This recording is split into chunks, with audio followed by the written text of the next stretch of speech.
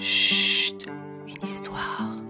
Installe-toi confortablement pour partager avec moi une belle histoire. Tu es prêt? Tu es prête? Viens, je t'emmène. Mon premier jour d'école. Un album de Soledad Bravi, édition École des loisirs. Demain, c'est mon premier jour d'école. Maman a dit, tu vas apprendre beaucoup de choses. Papa a dit, tu vas te faire plein d'amis. Grand-père a dit, tu vas bien t'amuser. J'ai un cartable rouge. J'ai rangé dedans un cahier avec des fleurs dessus, mes crayons de couleur, un petit coussin pour la sieste et maman a glissé un biscuit dans la petite poche de devant.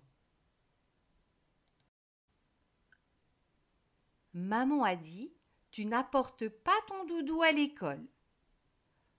Papa a dit Tu seras sage comme une image. Grand-père a dit Ce n'est pas l'heure de dîner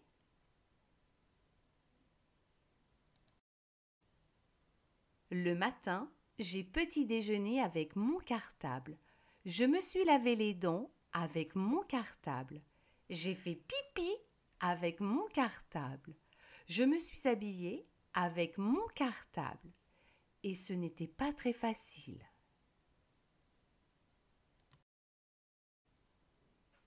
J'avais tellement envie d'aller à l'école qu'on est arrivé trop tôt. L'école était fermée.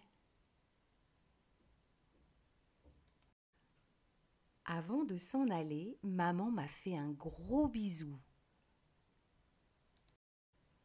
Dans la classe, la maîtresse m'a dit Bonjour Margot, je m'appelle Christine. Voici ta classe. Ici, tu peux ranger ton manteau sous ton prénom. Là, il y a une cuisine, une bibliothèque. De ce côté-ci, un coffre à jouets. Les crayons de couleur et les feutres dans les pots, là-bas. Et juste à côté, il y a le papier, les pinceaux et la peinture. Tu ne vas pas t'ennuyer.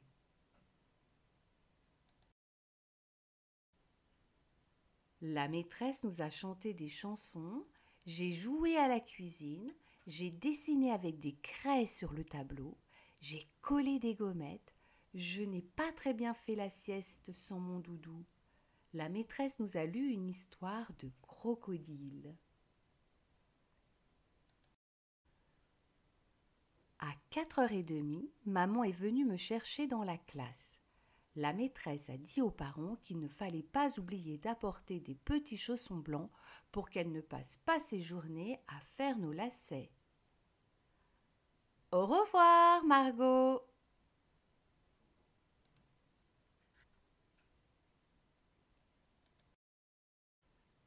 Maman et moi, on est allés au jardin. J'ai mangé mon goûter en regardant les pigeons, j'ai ramassé des marrons et un caillou, j'ai rapporté à la maison deux pelles et un râteau que les enfants avaient oubliés.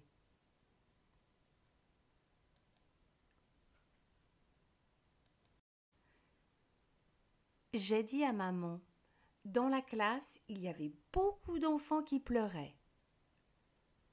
J'ai dit à papa, je t'ai fait un beau dessin. J'ai dit à grand-père, j'ai mangé un œuf dur à la cantine.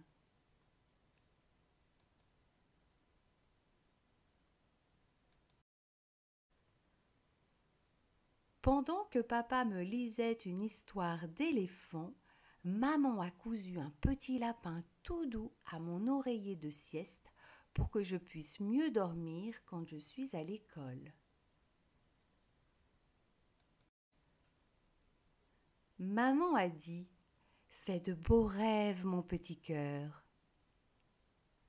Papa a dit Tu es la plus jolie crevette que je connaisse. Grand-père a dit Tu me feras, moi aussi, un joli dessin oui, grand-père.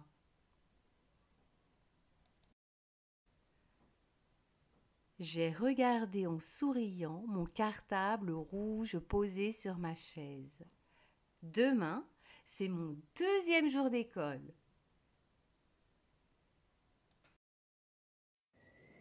Si tu as aimé cette histoire, tu peux cliquer sur j'aime en bas de ta vidéo. Tu peux aussi t'abonner pour ne pas manquer mes nouvelles histoires. À bientôt!